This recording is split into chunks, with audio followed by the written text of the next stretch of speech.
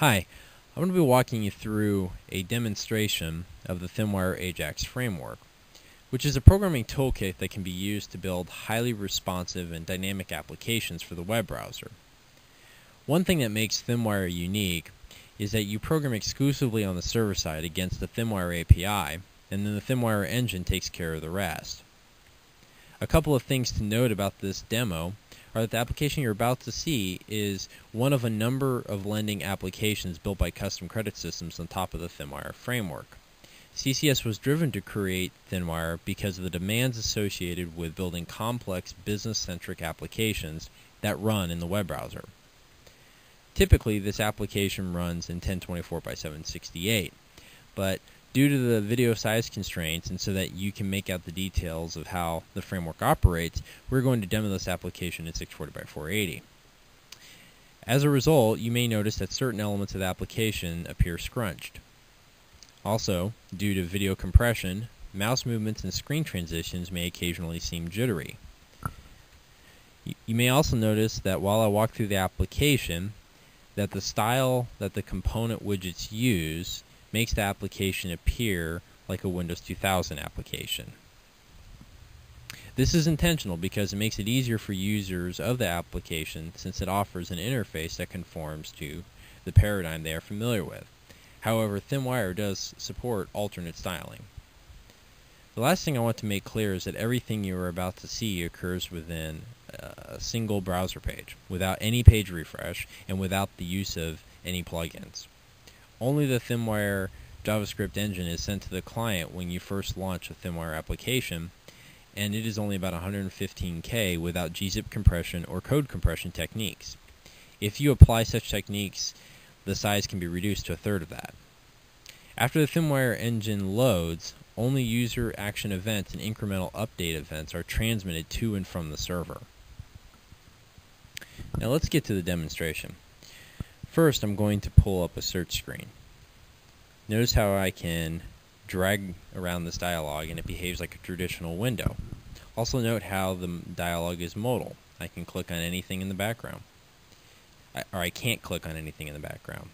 Now let me search for something. Let's say I want to find a customer that I know has the letter H in their name. So I would enter H and click search. Notice how the content of the grid is loaded immediately and without any interruption to the user experience. In the results grid, you can see that there are multiple columns of information. You can resize the columns, and although it's not shown here, if you enable it, you can sort by a column, uh, either ascending or descending by clicking on the header. Now let's say there are too many results, so I need to refine my search. I'll go to the search field and type HOM, and then click search. Notice how the grid empties and repopulates with the new results almost instantly. So finally, let's say I remember the actual deal number associated with the application. So I just go to the deal number field and type 284.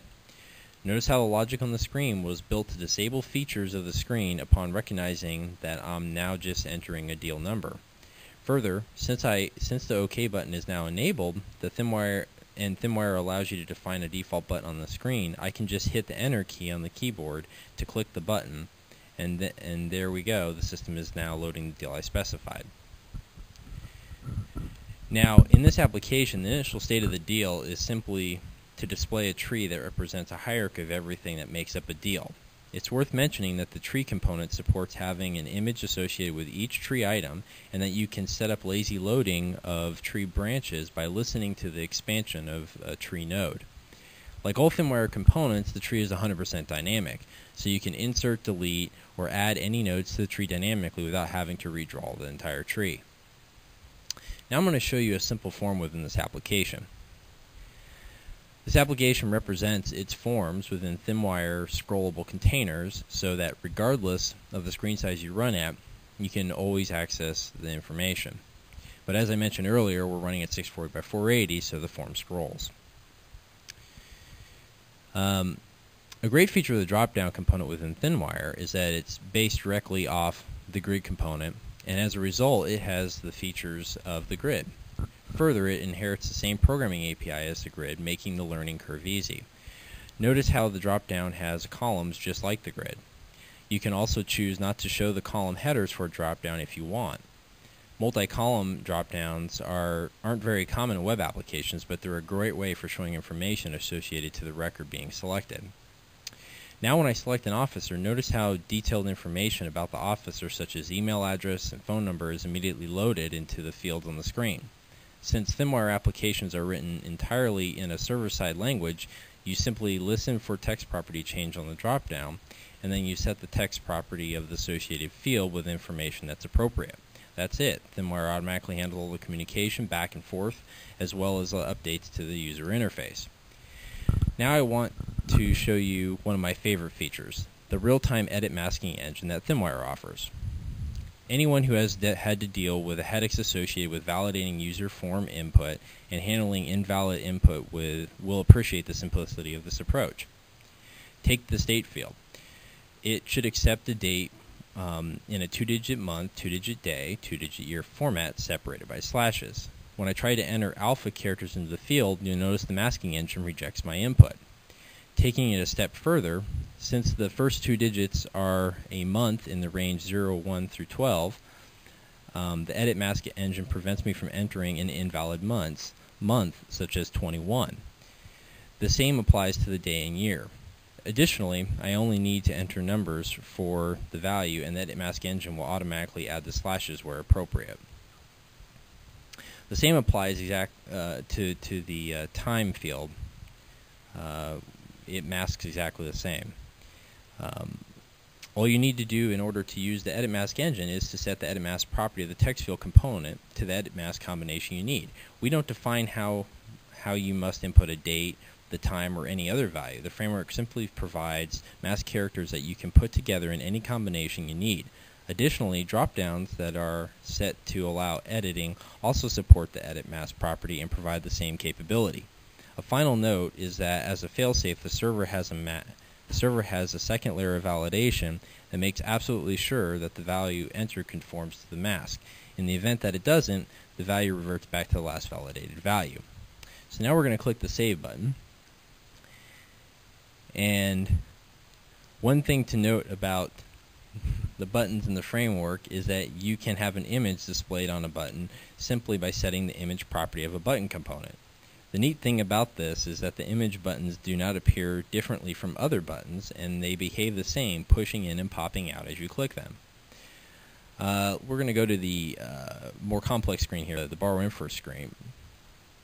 And this screen uh, uses a style API of uh, components to change the background color of fields to indicate required values.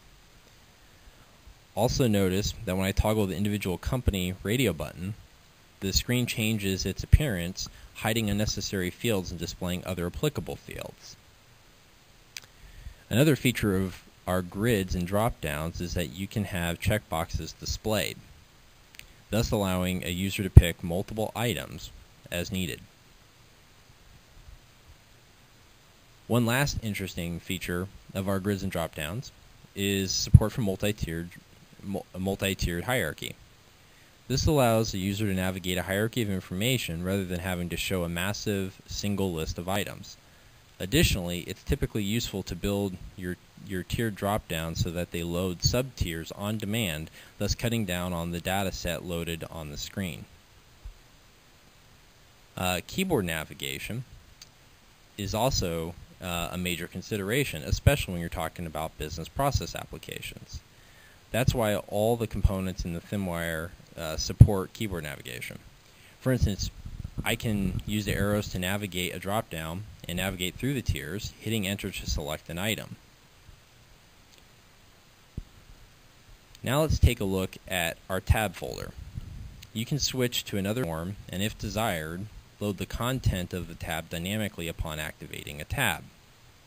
It's worth noting that tab sheets can have images associated to them as well, um, just by setting the image property of a tab sheet, although this application does not leverage that currently. Additionally, menus also support having images for each menu item, as well as another neat feature, keyboard shortcuts.